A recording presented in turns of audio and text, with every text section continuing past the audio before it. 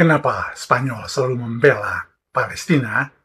Viene a decir que por supuesto van a continuar con los asentamientos en Cisjordania, por tanto ocupando territorio palestino y... Ada beberapa alasan sebagai berikut.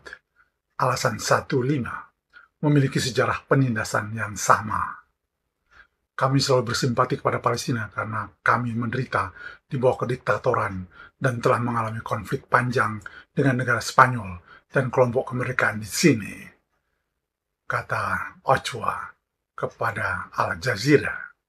Tindakan simbolis ini sejalan dengan dukungan historis Spanyol terhadap hak-hak Palestina, namun terjadi pada saat yang menegangkan ketika Madrid memimpin beberapa negara barat yang semakin mengkritik Israel.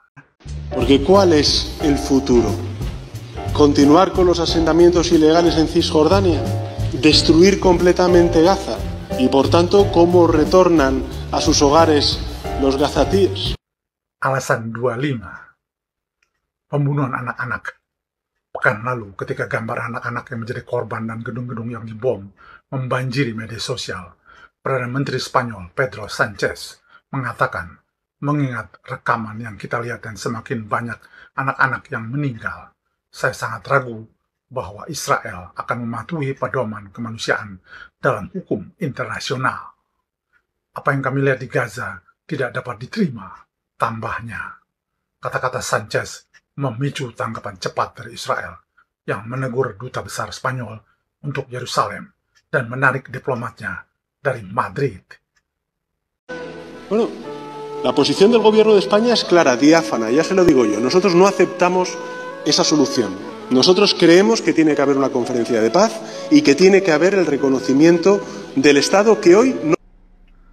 pemimpin Spanyol yang juga mengecam Hamas atas serangannya adalah pejabat Eropa berpangkat tertinggi dan paling terkenal yang mengecam Israel yang hanya diikuti oleh politisi di Irlandia dan Belgia. Sementara itu, unjuk rasa yang mendukung rakyat Palestina telah meluas di kota-kota di seluruh Spanyol. Alasan 35 Kubu sayap kiri selalu mendukung Palestina. Josue de Miguel, profesor hukum tata negara di Universitas Cantabria, menggambarkan Spanyol sebagai secara sosiologis negara pro-Palestina. Kita masuk bagian keempat. The government of Spain will approve the official recognition of Palestine as a state. With this decision, Spain joins the more than uh, 140 countries that already recognize Palestine Sanchez memimpin pemerintahan sayap kiri minoritas yang mencakup partai sayap kiri Sumar dan Podemos yang vokal mendukung Palestina. Sanchez mengatakan Spanyol akan siap mengakui negara Palestina merdeka.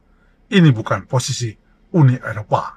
Oleh karena itu, mereka mengambil sikap sepihak, kata De Miguel kepada Al Jazeera.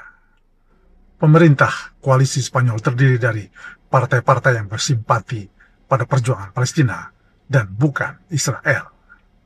Faktor lainnya adalah bahwa di Spanyol, kelompok sayap kiri menunjukkan lebih banyak dibandingkan kelompok sayap kanan.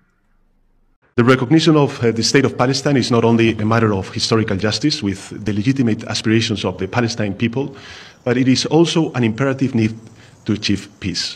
This... Alasan 45 Spanyol memiliki sedikit komunitas Yahudi. Beberapa analis percaya bahwa solidaritas Spanyol terhadap perjuangan Palestina mungkin berakar pada sejarahnya sendiri. Spanyol hanya memiliki komunitas Yahudi kecil yang berjumlah sekitar 50.000 orang. Sebagian karena sejarah. Sebagai perbandingan, komunitas di Prancis yang merupakan rumah bagi minoritas Yahudi terbesar di Eropa berjumlah sekitar 500 ribu orang. Wow. Pada tahun 1492, dengan dekret Alhambra, Raja-Raja Katolik mengusir orang-orang Yahudi. Pada tahun 2015, lebih dari 500 tahun kemudian, Spanyol menawarkan permintaan maaf pada orang Yahudi dengan memberikan warga negaraan kepada orang Yahudi Separdik di seluruh dunia. Furthermore, this decision reflects our absolute rejection of Hamas, a terrorist organization who is against the two state solution. From the outset, Spain has strongly condemned the terrorist attacks of October 7. We will Selama pemerintahan Jenderal Franco, Spanyol yang fasis, yang diisolasi oleh Barat, bersekutu dengan negara-negara Arab, hubungan diplomatik dengan Israel baru dimulai pada tahun 1986, 11 tahun setelah kematian diktator tersebut.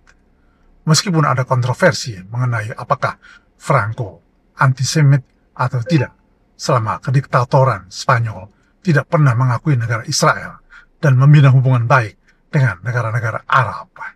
Kata Ignacio Molina, pakar urusan luar negeri Spanyol di Autonomous University of Madrid. Selama transisi menuju demokrasi antara tahun 1976 dan 1982, pemerintah sentris tidak pernah mengakui Israel.